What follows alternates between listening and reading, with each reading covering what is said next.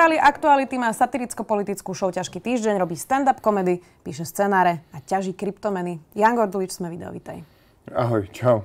To bolo rýchle. Ešte stále platí, že ti každý deň niekto povie, že si poštariano? Aj po koľkých to, koľko to rokov? No, je to podľa mňa 10? 2010 som mm-hmm. skončil uh, a išlo to 7 rokov, čiže už to viac nerobím, ako som to robil a ešte furt sa mi to stane. To ti na kúpalisku pred 4 dňami. Aj to ľutuje, že si to robil? Nie, nie, to určite nie, nie, akože mám fázy a mám proste, že, že ale že také, že lutovať to nebolo nikdy, lebo oveľa viac dverí mi to otvára, než mi to robí zle. Keby si mal sa teraz dnes po tých desiatich skoro rokoch zadefinovať sám, e, takže namiesto toho poštariano by si tam čo dnes doplnil? Je to, je to ťažké, lebo ja vlastne ako keby v istom momente aj kvôli pošte pre teba mm, som začal robiť 5 vecí naraz, lebo, lebo sa mi dialo z poštou taká vec, že, že sa to vždy netočilo 4 mesiace v roku a ja som proste nemal čo žrať. Akože došiel ten posledný honorár a ja som normálne, to, že my sme dotočili nejakom začiatkom júna, mne prišiel v júli honorár a ja som, že, že júl, august jedol, že výfom polievky a chodil si proste na kúpalisko dávať jedno pivo na slnko, aby proste, že som prežil nejak do večera a nebol hladný a potom v nedelu som však máme na obed. Tak potom som akože začal hľadať nejaké že iné joby, takže, takže neviem. Momentálne najviac času a peňazí E, sa mi točí okolo televízneho producentstva, lebo momentálne pre televíziu Joj vyrábame s Luizou talk show, ktorá sa verím, že o pár mesiacov bude vysielať, takže to je ako keby teraz Čiže taký producent, môj, áno. áno, taký môj obľúbený. A, a vlastne producent sa dá nazvať, to už som aj na silných rečiach a to som aj na ťažkom týždni, takže je to asi producent. No a keď sa pri tom ťažkom týždni, uh, ty si chvíľu dokonca točil ťažký týždeň v tomto štúdiu? Áno, ja som vystriedal, to bol vlastne prvý prvé štúdio bolo toto, uh, pretože ja som to chcel najprv akože chvíľku začať robiť zadarmo. Ja som aj ten tým akože oslovo, že poďme to najprv ukázať ľuďom, že to vieme robiť, ale z hodou okolností tu robil Majobsár s Petrom Naďom a ten hneď akože nám povedal, že poďte to robiť a dal nám nejaký úplne že miniatúrny budget, takže sme to začali robiť tu. No a odvtedy, od toho času, keď ste to točili tu, dnes, ako sa zmenila tá relácia? Kam sa posunula? Podľa mňa sme sa posunuli v tom, že, že ja som začal tak akože tlačiť na to, že, že viac nech sa tam deje, nech je to ako keby také, nech to není, že nech tam není 30 sekundový úsek, kde niečo čítam do kamery, čo napríklad John Oliver robí, som si teraz uvedom, snažím sa ako keby každých 5 až 10 sekúnd, aby sa tam niečo stalo, takže oveľa viac uh, tam dávame obsahu, čiže sa to akože dlhšie píše, lebo tam musíš nahádzať viac obrázkov, orezať ich, uh, vložiť ich tam správne, označiť. A čo sa stalo, máme za to o niečo viac peňazí a čo sa stalo, z, strašne ľudia čudujú, že kto ťa platí, že no však aktuality, normálne akože robím vec a dostanem za to peniaze. A, a čo sa zmenilo, že aktuality sú hrozne prísni, čo sa týka nejakého kodexu novinárskeho, takže akože strihač má hlavu smutku, ale že všetko je že ozdrojované a používame akože naozaj férovo veci a všet, všade napíšeme, odkiaľ to je, takže to sa zmenilo, že, že to strihačovi trvá o dve hodín dlhšie, lebo tam pridáva zdroje všade už to dosť dlho beží a naozaj každý týždeň vyjde jeden diel. Nevyčerpali ste ešte všetky témy? Alebo teda slovenská politika je ne, nevyčerpateľná studnica? Ono je, je, tak ako samozrejme to sa vždy niečo udeje a, a keď nie v politike, tak v repe alebo proste v homeopatii niečo sa objaví nové a proste takže Takže ako podľa mňa tak jeden do mesiaca vyjde taký diel, akože taký, že na také dlhodobejšie témy a potom riešime, ale naozaj, akože, lebo nie je to, ono to nie je, že politika, ono je to, politika je to preto, lebo tá politika rozhoduje o tých veciach, ktoré sa dejú, ale my akože riešime proste únos Vietnamca podľa mňa nie je politika. E, stav zdravotníctva je e, hlavne, že sa to týka všetkých, že tam prídeš a proste je to hnusné a čakáš dlho a je akože vyústenie do tej politiky, lebo oni o tom rozhodujú. Takže nie. Ťažký týždeň sa venuje teda, dobre, nazvieme to spoločenské témy, môže byť? Mm-hmm. Pred eurovoľbami som videla, že ste vlastne spravili takú paródiu na predvolebné video Kotlebovcov, kde vlastne uh, kandidáti LSNS stali v Bruseli, v štvrti, kde, kde bývajú uh, uh, Afroameričania. No a teda ilustrovali tým e, problém s migrantami. Ktorý je paradoxne, keď sme tam boli, tak nám ako všetci hovoria, že ale vy viete, že oni mali proste kolónie pred 400 rokmi a že proste oni títo ľudia sem prišli, že v 19. a 18. storočí si ich sem navozili ako sluhov a to sú ich potomkovia týchto, ktorí, že to nie je teraz, že posledných 10 rokov a že, že no však už vieme teraz. Hej, hej, ten kontext tam trochu chýbal v tom videu, ale teda vy ste natočili v Bruseli paródiu, mm-hmm. ty si chodil po Bruseli a, a bolo to také vtipné, si sa tam rozprával s nejakými, s nejakými pracovníkmi Európskej komisie. Ako na to ľudia reagovali? A pýtam sa preto, že uh, či sa vôbec k tomu videu dostal niekto, kto uveril tomu videu uh, SNS. Že či, že či to nepozerali len ľudia, ktorí už majú ako keby ten názor. Vieš čo, minimálne viem, že robia s tým ľudia takú vec, aj tí, čo akože teraz sú presvedčení, že to postujú na wall tým, tým čo akože šerujú hlúposti. Takže akože ako keby im to pomáha argumentačne proste, že počkaj, že toto ti chcem celý čas povedať, tu je to všetko v tomto videu. Takže uh, k nejakým takýmto ľuďom sa to určite dostalo, to, že či ich to presvedčilo alebo nie, to je napríklad ako môj veľký problém s ťažkým týždňom, že že stále ma aj v rozhovore tlačí, že ty sa snažíš bojovať, ja, že nesnažím, aj som si to musel v sebe zadefinovať, čo sa snažím, že snažím sa, aby zaznel nejaký názor, ktorý si myslím, že by mal zaznievať v hlas, tých ostatných názoroch. Čiže, čiže neviem, či ten ťažký týždeň niečo takéto robí, či iba nenahneva tých ľudí a tak ďalej. Ale zároveň uh, viem ešte druhý taký feedback je, že, že Ježiš super, že to vidím všetko takto na jednom mieste, uvedomil som si niečo. Čiže akože, a, minim, a počkaj, ale jeden mi písal vlastne, jedného minimálne, áno, ten mi dokonca povedal, že chcel voliť Kotlebovcu a že nebude, lebo vlastne tento ťažký týždeň. A čítala som v tvojich rozhovoroch, že vlastne od práve fanúšikov Mariana Kotlebu dostávaš najväčší hejt? Áno, uh, dva, dva, dve skupiny sú, sú to uh, Kotlebovci a takí čo, ľudia, čo si myslia, že sú naozaj tí najviac veriaci na Slovensku, tí správne veriaci, tak ty akože naozaj, že dáš na dve sekundy kufu, aj vlastne to nie sú tí veriaci, to sú akože kufovci by som ich nazval, lebo dáš na dve sekundy kufu do videa a proste idú, že normálne ti príde, že 10 hejtov. A napríklad čo ti také hodí? Že iba normálne, že, že neobtierajte si papuľu o nášho pána kufu.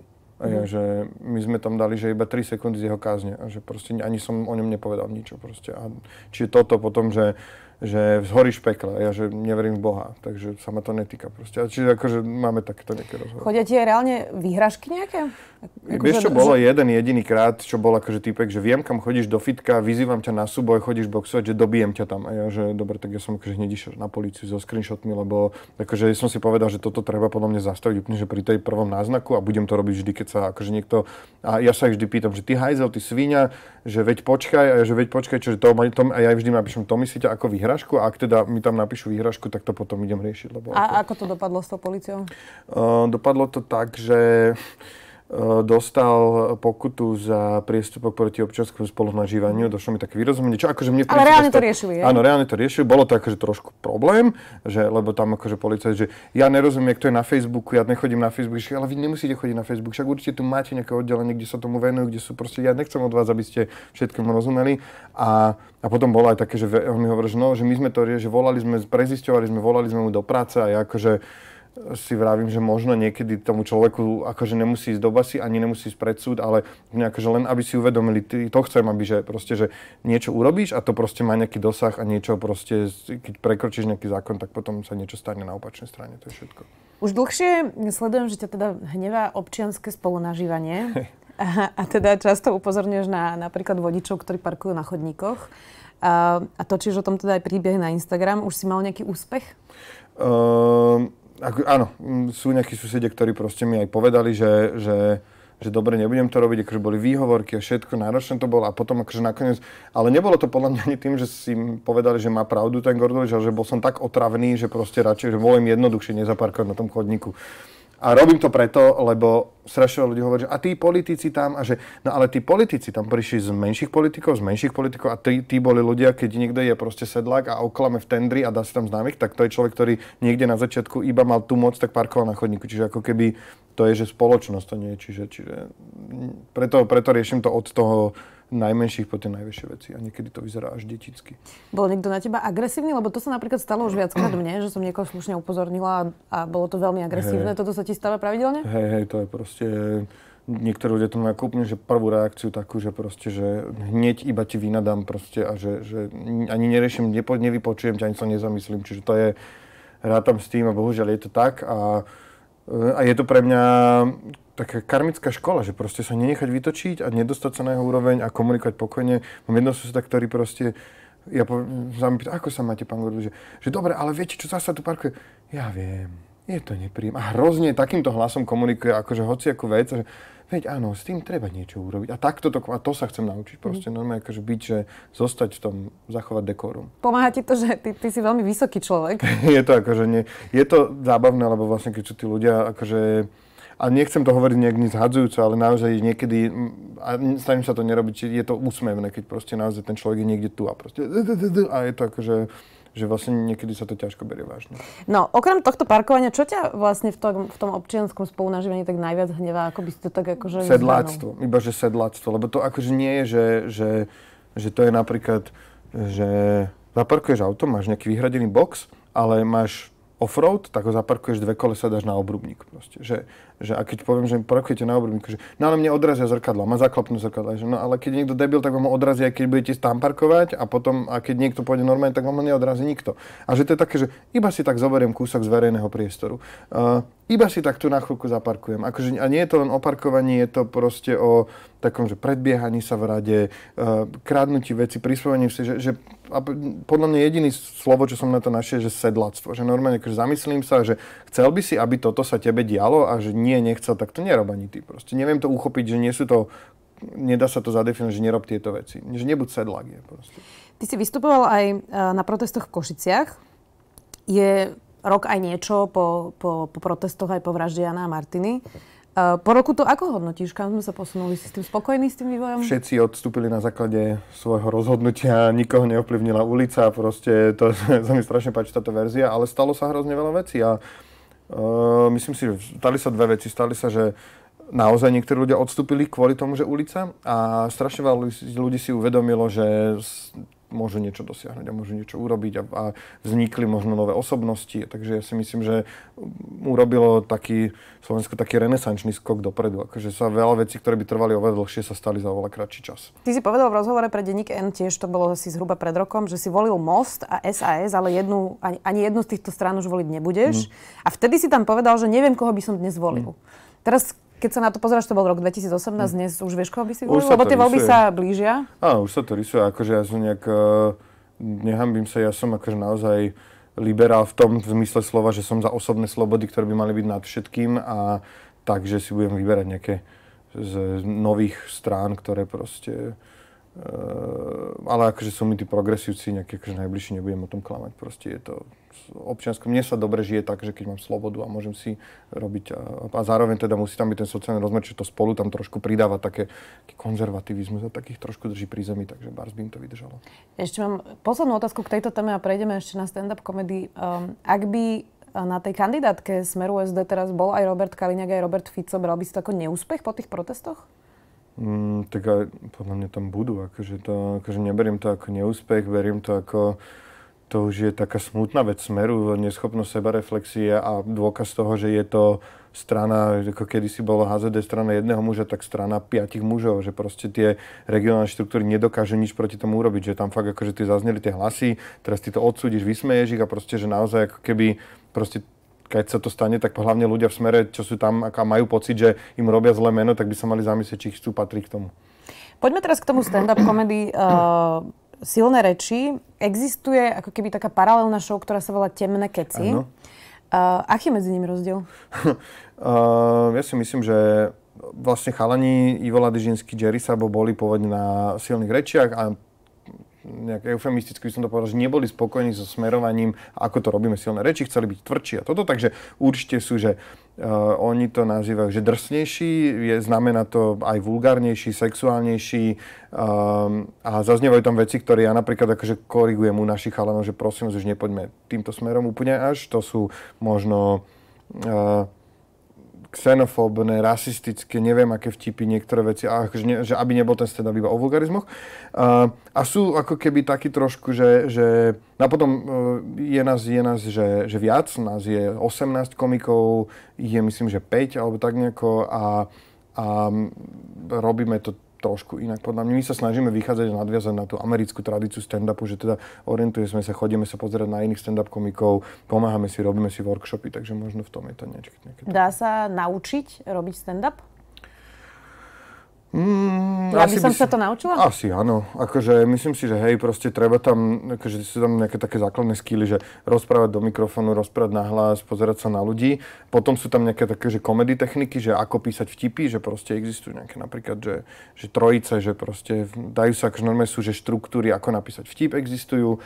A, Skús mi o tom povedať viac, že ako napísať vtip napríklad. Napísať, akože jedna z techník písania vtipov sú napríklad, že trojice, že, že, že Uh, povieš, že, že menuješ nejaký zoznam troch vecí a prvé dve sú, že nejaké máš pocit, že niekam smeruješ a tretia je úplne bizarné, že vždy, keď idem ráno do potravín, kúpim si rožky, mlieko a dve kila čokolády, aby som si mohol doma uh, rozvlačniť svoju depresiu a plakať o tom, aký mám nešťastný život. Proste. Takže to je ako príklad, bol akože veľmi zlý príklad, ale je to, že napríklad, že trojice, že, že hovorím, že dve sú veci, ktoré sú v tom zozname, že sa tam hodia a tretia, že úplne, že nečakaná odbočíš inde. Potom sú, že, že hyperbolizácia sa dá robiť proste, ktorú akože naťahuješ tie situácie do, do momentov, že, že hnevá ťa, keď niekto sa nepohne hneď na červeno, ale preženieš to krát 10, že proste, že ja by som ho brokovnicou rozstrieľal proste, lebo mám také, ale vieš, všetci vedia, že nemáš a je to smiešne, keď sa na kvôli také blbosti niekto tak až na série proste. A čiže, čiže sú tam techniky, sú o tom knižky, dá sa to napozerať a, a vlastne je to spojenie, že scenaristika, režia a herectvo. Čiže vlastne to sú tri veci, ktoré ty musíš sám seba vedieť zrežirovať, musíš to vedieť napísať, musíš to vedieť zahrať a musíš sa vedieť zrežirovať, kedy ísť rýchlo, kedy spomaliť, kedy vieš, že si povedal niečo komplikovanejšie a musíš tam vydržať na tom stage nejaké tri horúce sekundy, keď týmto to publikum pochopí a musíš veriť, že to pochopí a rozosmejú sa. Takže dá sa to naučiť.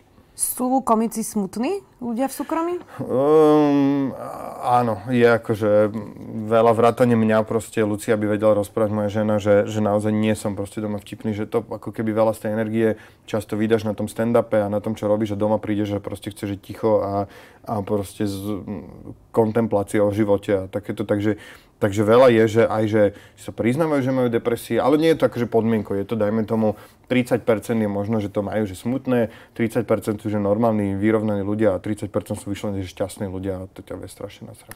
Neviem, či si videl na Netflixe taký špeciál Hannah Gatsby, napísala nie. na net a to je, ona, ona je vlastne austrálska lesba, ktorá mm. vyrastala vo veľmi konzervatívnej komunite a začala ten stand-up tým, že robí všetky také tie fóry o tom, že, že o, o jej sexuálnej orientácii a o predsudkoch, s ktorými sa stretávala. A nakoniec sa ten stand-up prehúpne do akože reálneho svedectva, kde hovorí, že prečo musí odísť vlastne z tej stand-up komedy, lebo že veľmi bolestivé veci pre ňu, že otáča na for a že nie je tam mm. úplne ako keby s tým vyrovnaná. Toto sa stáva aj tebe, že že ľudia sa ti smejú na nejakých veciach, ktoré ťa možno aj bolia a používajú ich síce na stand-upe, ale že v skutočnosti s tým nie sú úplne Akože určite je 90% tých každého komedy vychádza z toho, z toho jeho života, ale myslím si, že to sú aj čiastočne taká terapia, a, ale je pravda, že som to tým minule rozmýšľal a bola nejaká akože takáto téma a zistil som, že musím ju mať najprv ja spracovanú, že musím to, aby som o nej vedel žartovať, tak musím minimálne, ako sme alebo aspoň urobiť nejaké kroky, aby som to začal riešiť proste, až potom dokážem si z toho robiť srandu. Čiže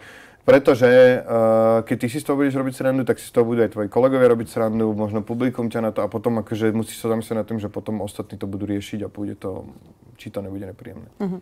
Uh, na tých stand je často taká nálada, že ľudia sa tam prídu zabaviť, že uh-huh. sa chcú zabaviť. Ja, to je super, no. A niekedy sa smejú aj na nevtipných veciach. Stretávaš sa s tým? Áno, áno, akože, že včera som bol na konkurenčnej show Punchline, teda konkurenčnej, je to akože spriateľená show a tam je hrozne prajné publikum, tam je naozaj akože proste, uh, že sa smejú aj na tom, keď ti nejde, aj keď ti vypadne text, tak ti zatlieskajú a je to akože hrozne, hrozne tam je prajná atmosféra. A, takže, takže to je super. No, proste. A potom sú niekedy aj situácie, kedy sa neprišli baviť a proste no, tam v prednej rade takto sedia dvaja, čo si práve dali, že to je v reštaurácii alebo v pivárni a teraz práve sa najedli. Že, no zabol ma ty debil, že poď. A proste ty mu to úplne vidíš v tvári, že tak toto, že bude náročné, že, že, lebo on akože, ja som si zaplatil, tak zabal ma. Sú v tomto firemné eventy najťažšie? A... Že tam prídu ľudia úplne pre niečo iné a zrazu tam príde stand-up hey, komik? Hej, častokrát sa stáva, že, že niekto proste na marketingovom oddelení je náš obrovský fanúšik a že wow, to bude super, zoberieme tam stand-up, ale vlastne je to uh, teplárenská firma, kde je proste 80% technici, čo chodia proste opravovať kúrenie a majú medzi 50 a 65 rokov a akože vôbec nevedia, že Luisa bola raz na výbornej party, kde si robil srandu proste, že a môj manžel a toto a že, že a pozera na mňa, že príberá a toto, toto a že nerobí doma, robil si to, že strašne je to smiešne a proste ona mi hovorí, že tam sedeli, že ľudia s tými manželkami, že no hej, no, je to tak, a? Proste, že nikto sa nesmie, lebo to tak mali naozaj doma. A proste ona z toho bola zhrozená, že Ježiš Maria, že... No a ako sa s týmto vyrovnáš, keď prídeš a síce za to dostaneš predpokladám, že dobre zaplatené, ale nikto sa nesmeje a je to pre teba nepríjemný No tak tam všetci tí herci a všetci z toho showbiznesu tým firmkám majú, že, že bazén sa nepýta, ako si si na ňo zarobil a proste silno myslíš, že ak sa ponoríš do toho proste bazéna, jak si pôjdeš kúpiť tie veci, jak pôjdeš na tú dovolenku. Takže to, lebo akože boli naozaj reálne situácie, kedy niekto proste, a už sa tomu snažím vyhybať, ale proste 5 rokov dozadu, že o 14. pobede, že ľudia prišli z obeda a, a teraz e, že ešte mali nejaké dve prednášky a normálne to bola že energetická firma a proste uh, dodávateľ elektriny a, a teraz, sa, že ja som mal, že 15 minút mať stand-up a za mnou išli, že kuštárovci, alebo taká nejaká proste, že kapela, že, že folklór. A normálne som, a oni už začali piť a ja som rozprával a asi v 5. minúte som zistil, že toto nepôjde a proste, že nič. A nikto sa nesmiel a bolo to, že strašne zlé. A pritom to bolo, že overené veci, čo som stokrát dával v kluboch a ja som sa pozrel na hodinky a bol, že 5 minút. A ja som vedel, že ešte, ešte dvakrát toľko tam budem musieť byť, koľko tam som. A asi 4 minúty od konca sa nové vzadu postavil opäť týpek a že, že končí, už končí choď preč, daj už husličky, už nech idú kuštárovci, choď už proste. A ty nemôžeš skončiť, lebo máš dohodu, že musíš dať 15 minút stand-upu, tak proste tam akože je, že ty ne, nemôžeš povedať, že ma zrušíš a takže je to niekedy ale treba sa dotknúť toho dna. Podľa mňa je to dôležité, keď akože fakt, že dáš si, že 10 super klubových vystúpení, kde standing ovation a potom prídeš na takúto firemku a znova si uvedomíš, že aj ty si len obyčajný začínajúci komik. Je to prefacka vlastne. Čítala som v eh, jednom z tvojich rozhovorov, že si nedotklivý a máš málo empatie. To si povedal sám o sebe teda. Áno. Uh, a to je teda veľká vec si to sám sebe priznať. Ako si na to prišiel, že si nedotklivý a máš málo empatie? Mm, niekedy akože fakt uh,